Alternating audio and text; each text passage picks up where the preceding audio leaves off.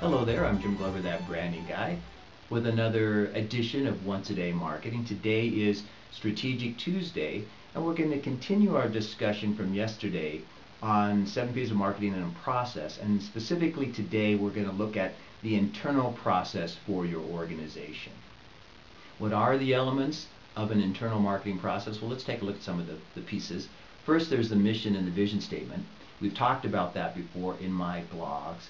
We also have goals and something I refer to as SMART goals, um, which are very specific, measurable, attainable, relevant, and timely. So take a look at that blog. Also, you need to develop a long-term strategic plan. Where do you want to be in the future? Where do you see your company going? That aligns with the vision statement. And then you want to develop a marketing action plan, a MAP, that's what I refer to it as, which lists the tasks, the responsibilities, the budget, the timetable as to when these things are going to happen. And if you begin implementing those tasks, you will start achieving your goals. And that's what you try to do with the marketing process. You're making sure that you're launching your marketing and branding plan as designed. Let's dive a little deeper into the development of the internal marketing process. I like to talk about my Oregon Ducks. You probably know that. And Chip Kelly, the coach at Oregon, has a mantra called win the day.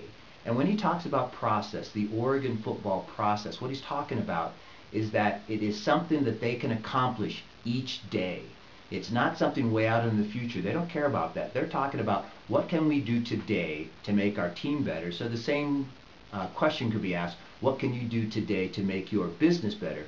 Now something that I do and something I use is called reality-based solutions. And I ask myself this question, what is the next milestone I need to reach to make my business more successful? So then I will develop a process of tasks that I want to complete to get there.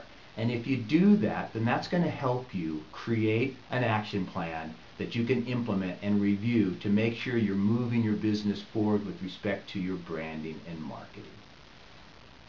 A process is only as good as your ability to, to implement. So you want to make sure that it is clearly defined, and then you want to implement, and then you need to make sure that you review and refine and implement again.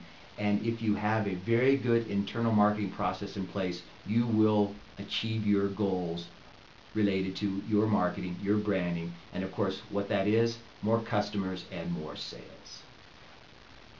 That wraps our Strategic Tuesday.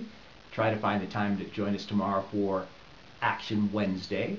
If you feel you need some branding support, please contact me to discuss a possible one-on-one -on -one service engagement. That information can be found at the end of the blog.